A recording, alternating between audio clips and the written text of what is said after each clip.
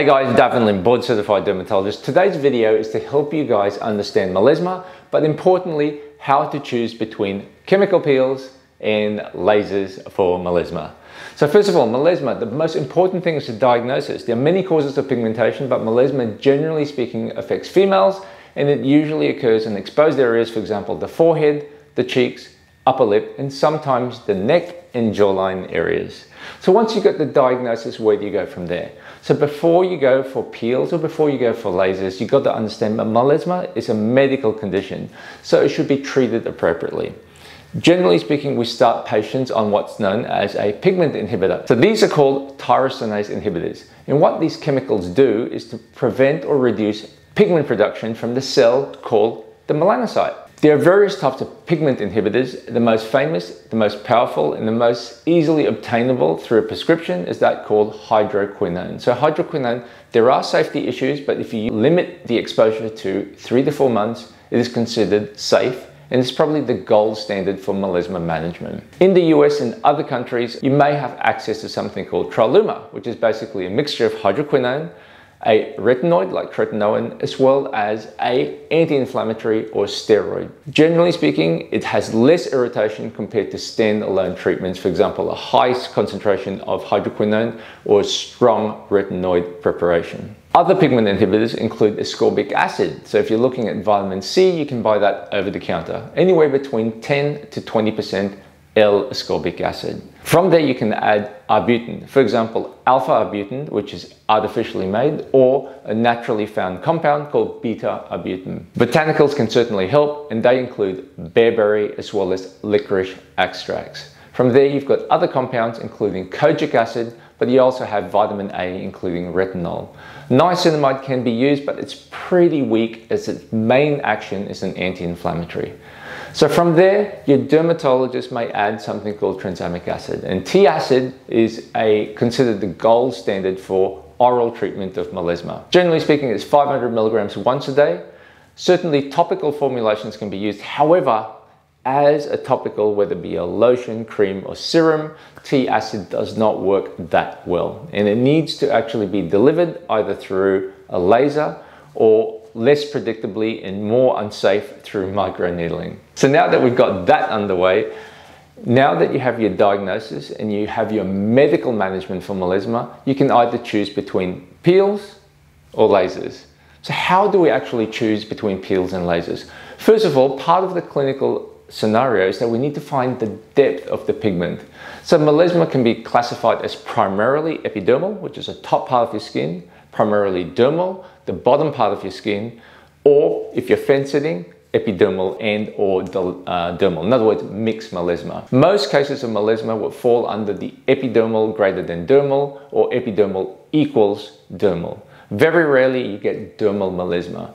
It is kind of hard to ascertain the features unless you are a clinical expert and we often use something called dermatoscope to look carefully for graying to suggest that the pigment is deep. So once that's established, if you have epidermal melasma or mixed melasma, certainly you have the option of either peels or lasers. The upside of chemical peels is that generally speaking for stronger peels, something like your Cosmelan, your Dermamelan peels, you only need one treatment. The downside of that is that you will have a downtime or skin recovery of any, anywhere between five days all the way up to 10 days. Remembering that with peels, you can only improve primarily epidermal melasma or the epidermal component of epidermal slash dermal melasma, in other words, mix. So in summary, peels are really good for superficial pigment, they work very, very well and very fast. In other words, you get an improvement, generally speaking, within 7 to 14 days.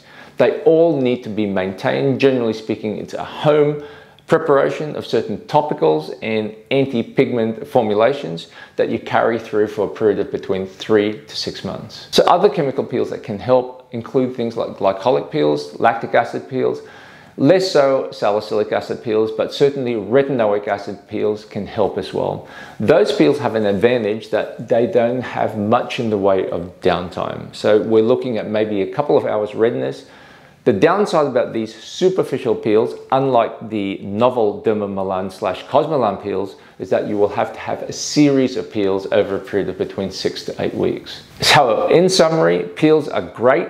Expensive peels can certainly help. Those are the Dermamelan, Cosmelan peels, but you gotta make sure that the pigment is either superficial or mixed. The downtime can be regulated from no downtime to a downtime of between one to two weeks. So what can lasers do and what type of lasers do we use to treat melasma? So lasers, we can classify that as pigment lasers or pigment specific lasers. For example, your Q-switch lasers, your pico lasers, and then you can use other lasers called non-ablative lasers and last of all you can use things called vascular lasers. So in my opinion and probably reflected upon the literature the two standout lasers include your Q-switch lasers and also your pico lasers. I tend to use the Q-switch lasers in most cases so the Q-switch lasers require more treatments, anywhere between five to 10 sessions. The downside about that is that it takes a while before you see improvement. So anywhere between two to eight weeks. The pico lasers, however, you will get a good improvement in probably 80% of patients. And the upside with pico lasers is that probably around three to four times quicker uh, to see results compared to the Q-switch lasers.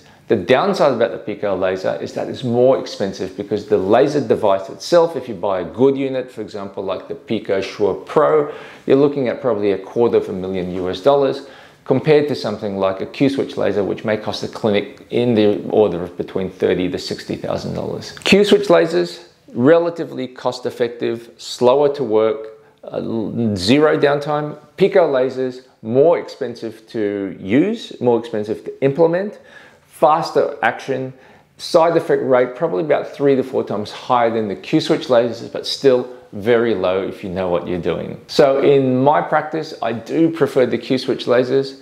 In about 40% of patients, I use the Pico lasers because they offer a much faster response. Additionally, Pico lasers can help with your skin toning. In other words, it can improve skin quality, make your skin brighter, reduce pore sizing, uh, superficial scars, pigmentation, for example, post-inflammatory pigment and mixed dermal pigment together with things like lentigos or sunspots. So that's the beauty about Q-switch lasers and pico lasers. The other group that we talk about include your non-ablative fractional laser and they include things like the Clear and Brilliant and the 1927 thulium lasers which include things like Fraxel, Laser MD and Moxi. These lasers can, in the literature, show to improve melasma, but in clinical practice, they're pretty much ordinary. You need multiple treatments. The results are like meh, and then the downtime is probably in between two to four days. So certainly they are out there. Out of 100 patients with melasma, I may treat one, possibly two with these kinds of lasers. And for those who have really deep pigment, for example, uh, dermal pigment, I may use something called a non-ablative 1550 or 1570 laser because what it does is that it shuffles the melanin, in other words, the pigment, from deep all the way up to the epidermis, in other words, a superficial laser skin to be extruded. So just in summary, fractional lasers, they do have a role. They're probably best used for deep dermal melasma. Settings matter, and in most situations, you will require several treatments. The efficacy rate, despite what the literature shows, generally speaking is in the order of, of, between 10 to 30% after three to four sessions. Lastly, vascular lasers. Because there is a blood supply that feeds melasma, we can certainly use vascular lasers, for example, like yellow light lasers, whether it be your V-beam uh, laser, your 532 lasers, or your diode lasers. They can actually be used to treat melasma, reduce the vasculature. Once again, when I rank everything, it's the Q-switch lasers, the pico lasers, then really down the bottom is your fractional lasers and followed by your vascular lasers.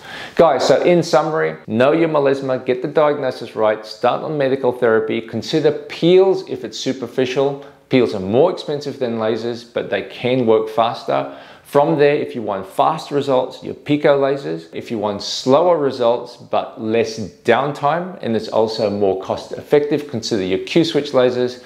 If you're really desperate and nothing else works, consider your fractional lasers. I hope you liked that video. It's a quick one, but hopefully gives you guys some kind of framework to navigate the world of melasma.